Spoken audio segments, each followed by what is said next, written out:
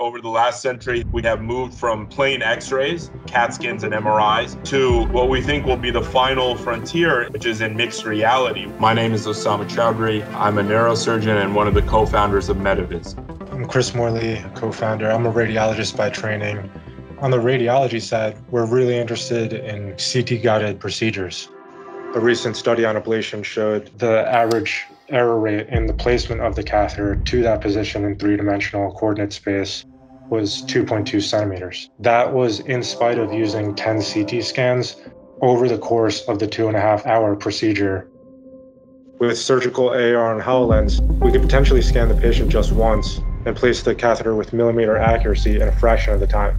Some of my favorite cases to do using the technology is what we call cerebrovascular bypass procedures. One blood vessel or part of the brain isn't getting enough blood supply, so you route in another blood vessel and stitch it in using the finest sutures possible. Before, we were using ultrasound technology to find where that blood vessel was, but here we could take a CT scan of a patient and overlay it directly onto them. At least 200 operations have now been performed using this technology.